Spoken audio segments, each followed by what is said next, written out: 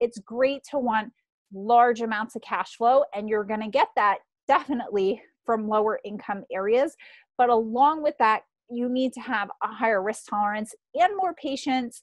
and you need to pad your numbers for a higher vacancy and higher maintenance expense because statistics just show that your vacancy is going to be higher you're because you're going to have more turnover and your maintenance is likely going to cost more depends kind of what area you're in so i started investing in lower income areas that were a little rough and after 10 years of doing that, I was like, I cannot do this anymore. And we sold all those properties except for one because I love my tenant. He like treats the house like it's his home. So I'm going to tell you some things to give you some tips, uh, like I just did, about how you know where to start when analyzing your market. So first